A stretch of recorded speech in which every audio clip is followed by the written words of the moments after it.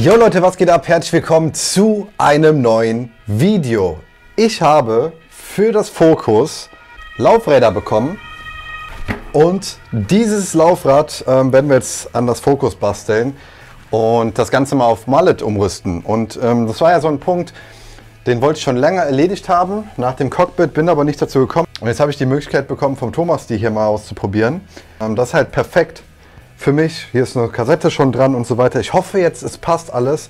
Ihr wisst ja, ich bin nicht so der übelste Schrauber, aber ich werde es trotzdem probieren, das auf die Kette zu bekommen, beziehungsweise aufs Fahrrad zu bekommen. Außerdem, ich weiß nicht, ob ihr es sehen könnt, die Reifen sind richtig fett. Ich hoffe, dass der Reifen überhaupt so da hinten drauf passt. Sonst ähm, habe ich aber noch die Winterreifen, die Magic Mary.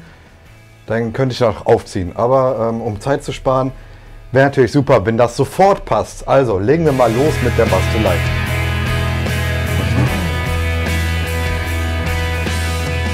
Das ist so schwer, Leute. Ich weiß ja nicht, wie geht's euch? Ähm, ich bin immer nervös, wenn ich äh, am Fahrrad schraube, dass ich irgendwas kaputt mache oder so. Naja, ähm, ich hoffe, es geht alles gut.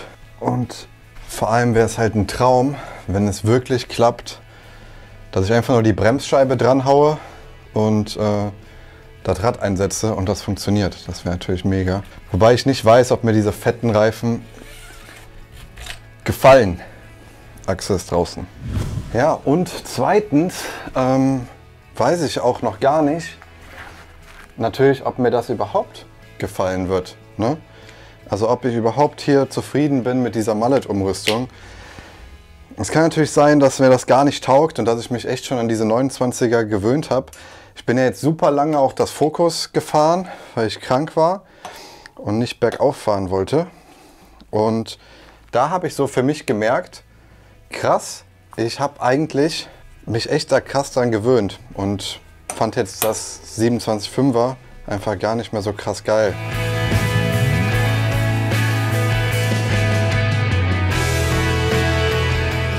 Gut, ähm, der erste Schritt ist jetzt getan.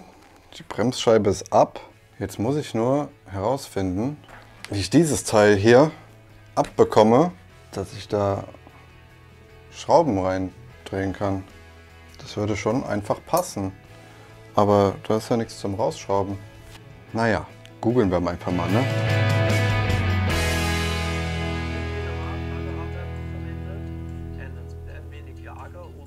Also ganz ehrlich, ähm, ich glaube, das Abenteuer ist schon vorbei. Weil mir das Werkzeug fehlt, ne?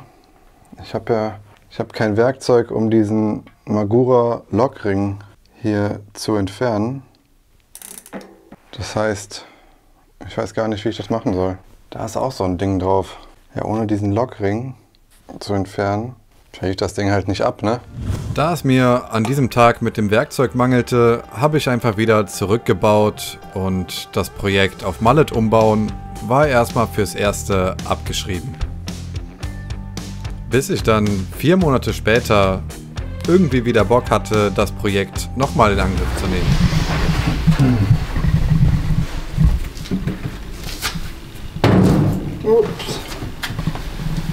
Was geht ab, Leute? Herzlich willkommen äh, in der Bikewerkstatt. Improvisiert, wie immer.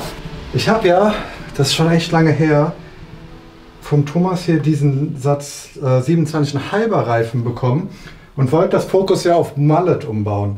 Und äh, ja, da hat mir so ein bestimmter Schlüssel gefehlt, wegen diesem Magura Lock Dingsbums. Das haben wir aber heute besorgt. Und wie ihr seht, ich bin schon ein bisschen am Basteln, weil ich muss die Kette kürzen. Ähm, und habe erstmal euch das Elend erspart, herauszufinden, ähm, wie ich eine Kette kürze. Deswegen äh, sind wir jetzt sozusagen ein bisschen fast forward hier. Und ähm, ich muss jetzt nur noch die Bremsscheibe montieren. Und dann ist das nächste Experiment, um zu gucken, ähm, muss ich dann auch hier den Adapter verändern. Vielleicht brauche ich da auch einen neuen oder das passt dann auch noch nicht. Werden wir auf jeden Fall sehen. Ähm, ich bin sehr, sehr gespannt, wie das Ganze hier am Ende ausgehen wird, weil ich bin jetzt ja auch nicht der über Mechanica Pro. Ich glaube, das hier, das kriege ich jetzt alles ganz gut hin. Kette kürzen kriege ich jetzt auch hin, also alles äh, ganz gut. So, jetzt kommt unser neues Tool hier zum Einsatz. Muss ich nur mal gucken.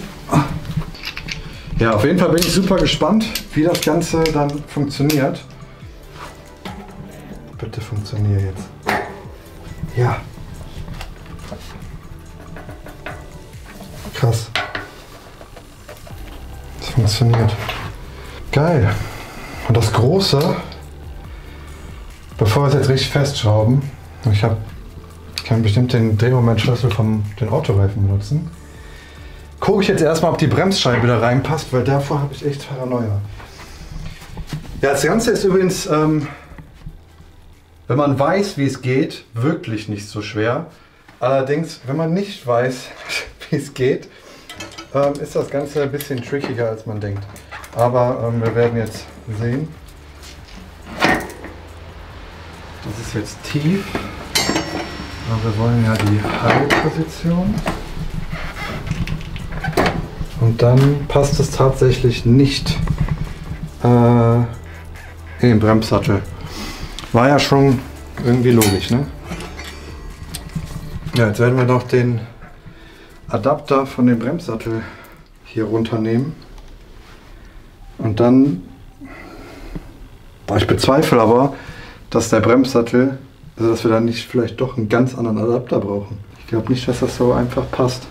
Ja, da muss ich eigentlich mal gucken, ob ich hier einen anderen Reifen drauf mache. Und der ist ja ultra fett, ne? Gar nicht, was das für ein Quellschwanz ist. Guck mal, hier ist der normale Magic Mary. Und hier ist der fette. Ist auch echt schwer. Ich weiß nicht, ob, das, ob ich mir einen Gefallen tue, mit tue, dass das Fokus noch viel schwerer wird. Naja, ähm, Bremssattel runter und dann gucken wir weiter.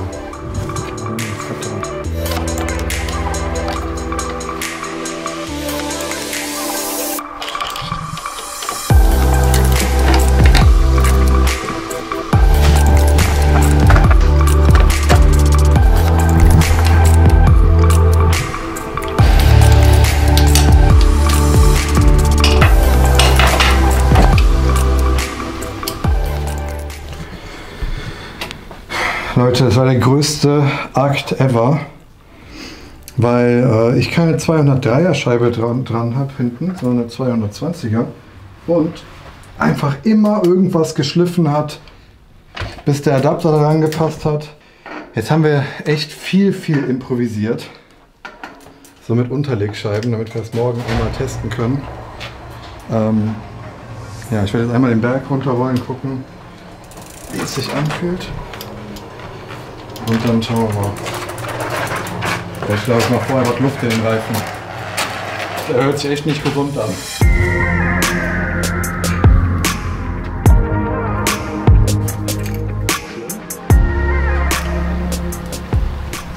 Ja, die ist einfach verklebt mit Dichtmilch gewesen. Ja, deswegen füllen Thomas und ich nie Tubeless Milch durchs Ventil.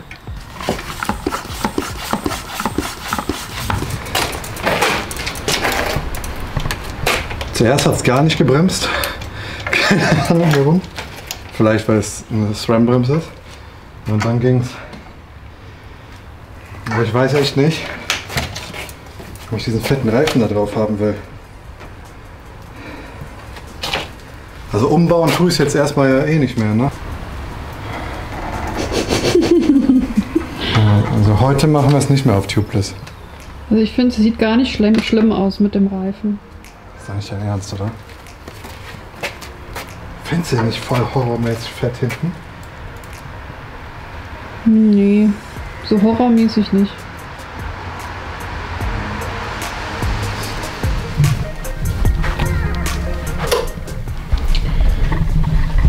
Was geht ab, Leute? Wir sind bei Tag Nummer 2. Ähm, ich habe mich entschieden, weil der Reifen mir einfach zu dick ist, im Gegensatz zum ähm, ja, normalen Magic Mary, dass ich noch kurz einen anderen Reifen aufziehe, und zwar meine Winterbereifung. Das ist auch ein Magic Mary.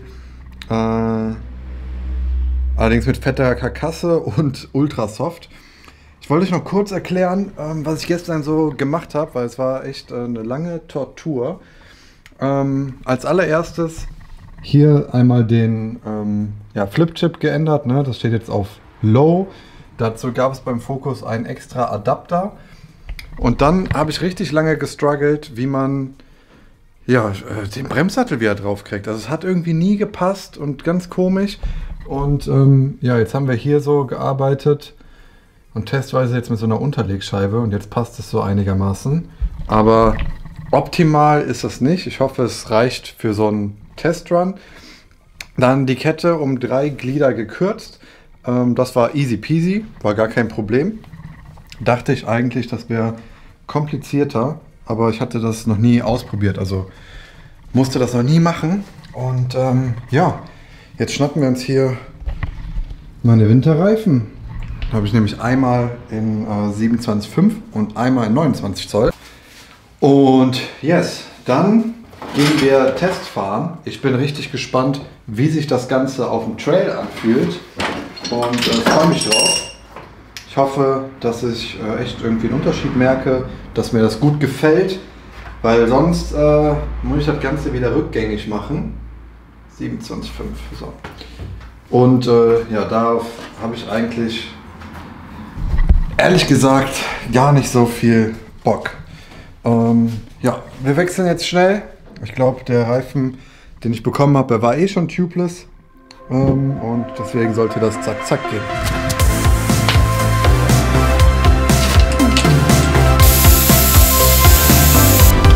Schaut mal, so sieht das aus, wenn Tubeless Milch schon fast äh, ja, komplett vertrocknet ist. Das heißt, da wäre es eh ja, bald nötig gewesen, ähm, neue Milch reinzupacken.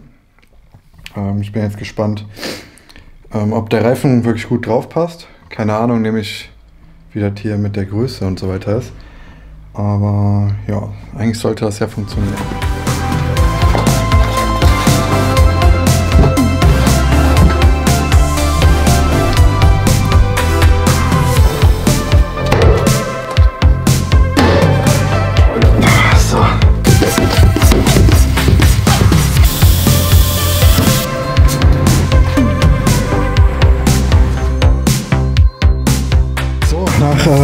Zwei Anläufen, bis der Schlauch an allen Seiten gleich gesprungen ist, haben wir es jetzt geschafft. Und den alten Reifen hier verstauen. Ich muss dringend Ordnung machen hier, Leute.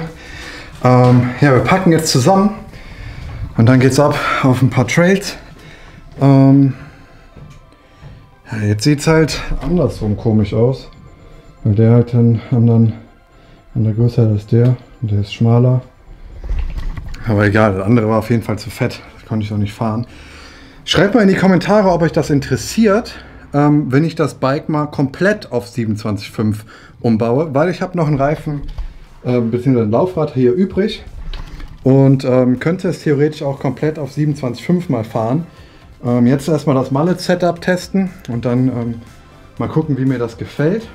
Ja, schreibt es gerne mal in die Kommentare, ob ihr das gerne mal sehen würdet.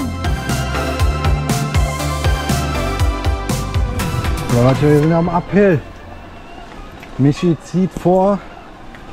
Ich habe den Turbo eingeschaltet. Ich sage schon direkt beim Uphill mit dem jetzt Mallet Setup sowas von verspielt beim Uphill. Das ist echt Next Level. Nee, Spaß beiseite. Ähm, Luft ist drin geblieben beim Tubeless-Umbau. Immer ein gutes Zeichen. Ich musste sogar noch natürlich ein bisschen was ablassen. Und jetzt schön eine Runde radeln, damit wir die Dichtmilch verteilen. Aber viel wichtiger ist jetzt, ja, wie gefällt mir das Mallet-Setup? Rein optisch gefällt es mir schon mal nicht. Muss ich ganz ehrlich sagen. Ich finde, das sieht immer komisch aus. Naja, wir radeln jetzt hoch und dann ähm, melde ich mich vom Trail. So Leute, kurz vor der ersten Trailabfahrt hier. Ähm, jetzt beim Hochziehen habe ich noch nicht gemerkt, logischerweise, dass, der, ähm, dass die Beschleunigung bzw. die Unterstützung früher aufhört. Aber ähm, wenn ihr es wechselt, müsst ihr es eigentlich umprogrammieren lassen. Ich glaube 2 bis 3 km/h ähm, macht es Unterschied, wo die Beschleunigung aufhört. Hat sie runtergefallen. Ja, ich war jetzt übrigens in Magic Mary Ultra Soft Super DH Karkasse. Fahre ich normalerweise immer nur im Winter auf den Trails mit Dirty Dane vorne. Aber ich hatte jetzt nichts anderes zu Hause, deswegen musste das jetzt her. Wir fahren jetzt drei verschiedene Trails und ähm, alle sind so ein bisschen unterschiedlich. Ich glaube, der, der letzte ist der technischste, ne? Ja. Ja, da wird es wahrscheinlich interessant, wie sich das anfühlt mit Mallet. Schauen wir mal. Das Wichtigste ist für mich, die Bremse hinten funktioniert, weil wir so einen Struggle damit hatten.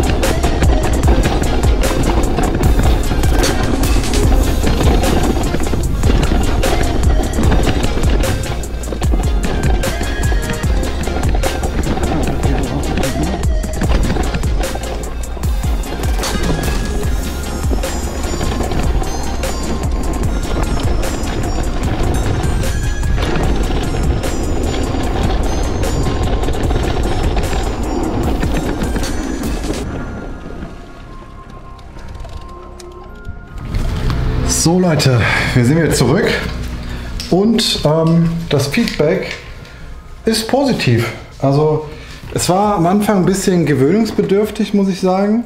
Also auf der ersten Abfahrt war es wirklich ein bisschen komisch, weil es einfach sich ganz, ganz anders anfühlt. Aber ich sage dir, Leute, ich brauche so dringend ein neues Auto. Ein Auto, wo die Räder einfach reinkommen und dann war es das, weil so ist echt nervig mit dem Hobby, muss ich euch ehrlich sagen. Ja, aber ähm, das Feedback ist gut. Also ich werde das Ganze erstmal so lassen und noch ein bisschen länger so testen, um halt zu schauen, ja, ob mir das langfristig auch gefällt und wenn mir das gut taugt, dann ähm, lasse ich das einfach so. Ne? Ähm, ja, ich hoffe, es hat euch geholfen. Ähm, wenn ihr das selber nämlich vorhabt oder so. Bei mir ist so ziemlich alles schief gelaufen, was schief laufen konnte. Also wenn ihr Fragen habt zu dem Thema, ähm, sagt mir gern Bescheid. Dann mache ich euch dazu nochmal ein Video oder beantworte euch die Fragen. Wir sehen uns auf jeden Fall im nächsten Video. Ich mache mir jetzt einen Kaffee und wir lassen gemütlich äh, den Tag ausklingen. Wir haben echt Glück gehabt mit dem Wetter. Alles perfekt. Abonnieren, kommentieren. Wir sehen uns im nächsten Video. Bis dahin. Ciao, ciao.